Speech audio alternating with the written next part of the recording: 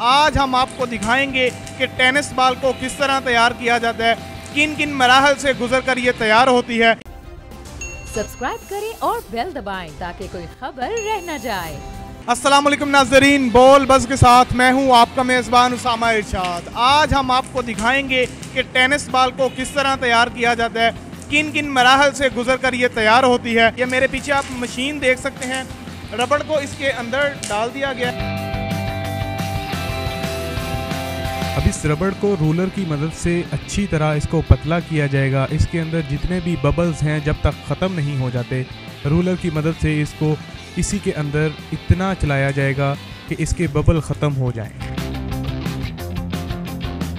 जी तो रबड़ के बाद बारी आती है जब रबड़ ये शेप इख्तियार कर लेता है मतलब कि अब ये देखें उसको जब रूल के साथ इन्होंने रूल किया उसके बाद ये इस तरह की शेप इसने इख्तियार कर ली। फिर उसके बाद इसको अ, कटिंग किया जाता है इसकी कटिंग की जाती है। अब ये कटिंग करके मेरे आगे पीस पड़े हुए हैं। बिल्कुल बर्फ़ी जैसे लग रहे हैं लेकिन ये बर्फ़ी नहीं है।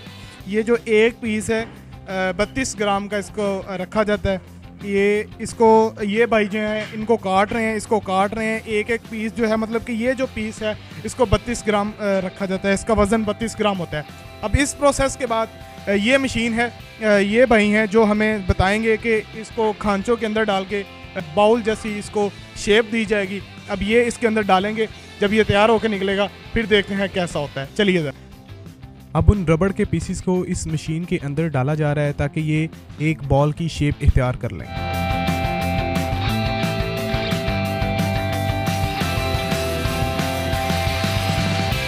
जी तो नाजीन, इन रबड़ के पीसों को इस मशीन के अंदर रख दिया गया है।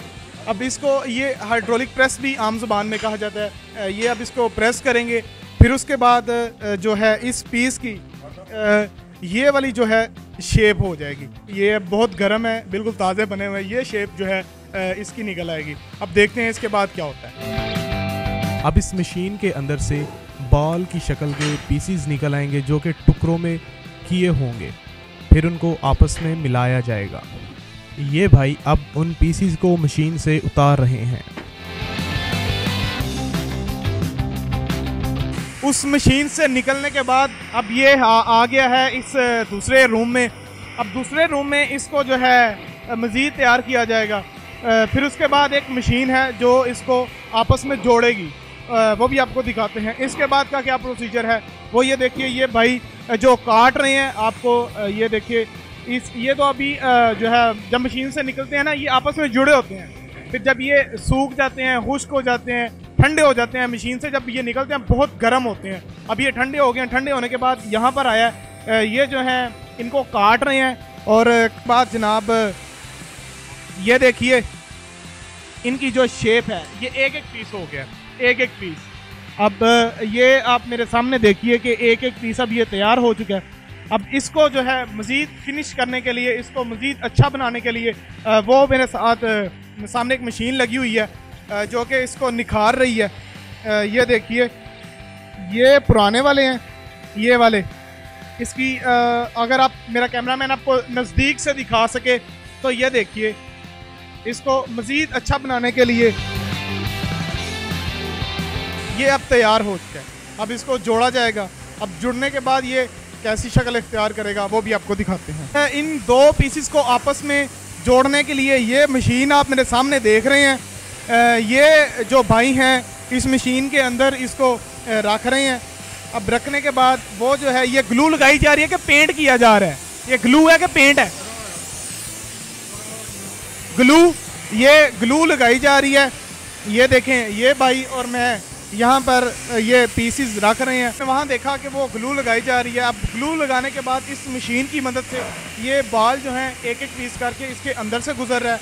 अब ये मशीन जो है थोड़ी सी गर्म भी है ग्लू को मज़ीद जो है बाल्स को चिपकाने के लिए। तो ये मशीन के अंदर से गुजारा जाता है। ये पूरा एक वही प्रोसेस है। अब जो फाइनल प्रोसेस है बॉल का ये मेरे भाई ये आप देख सकते हैं।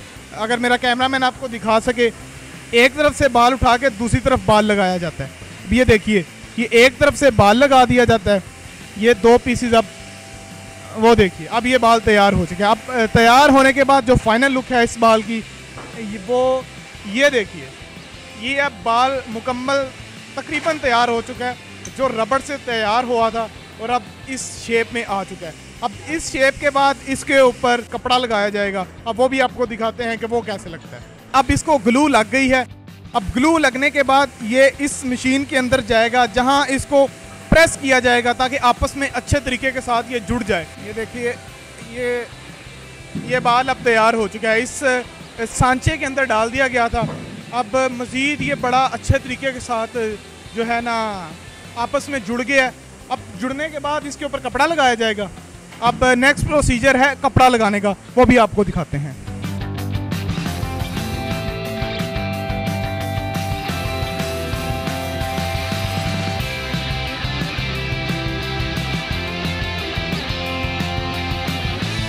अब इस बाल जो हमने आपको बाल दिखाई थी उस बाल के ऊपर कपड़ा लगाया जा रहा है। ग्रीन कलर का कपड़ा लगाया जा रहा है। अब ये बाल मुकम्मल तैयार हो चुकी है। ये भाई इसको तैयार कर रहे हैं। इसको क्या कहते हैं जो आप लगा रहे हैं? बरी। कहते हैं बरी। बरी कहते हैं। ये क्यों लगाते हैं? ये मेन पॉइंट होता है ना तैयारी का। जो- जो- मतलब कि अब ये मेन पॉइंट है ये इसके ऊपर लग गया है। इसकी पकड़ के लिए ये लगाते हैं ताकि ये कपड़ा ना ख़राब हो जाए उतर जाए। तो अब ये मुकम्मल रेडी हो चुकी है। अब इसके बाद बारी आएगी स्टम्प की। वो आपको दिखाते हैं कि स्टम्प किस तरह लगती है। तो नाजीन, अब ये जो बॉल हैं सीए के बॉल हैं मार्केट में बिकने के लिए तैयार हैं। तो आपने देखा किस तरह बाल तैयार किए जाते हैं, कितनी मेहनत होती है बाल तैयार करने में, वो देखने में मज़ा आया होगा। तो इसी तरह की अच्छी अच्छी वीडियोस देखने के लिए हमारे चैनल को लाइक करें सब्सक्राइब करें और कमेंट करना मत भूलिएगा। अल्लाह हाफिज़।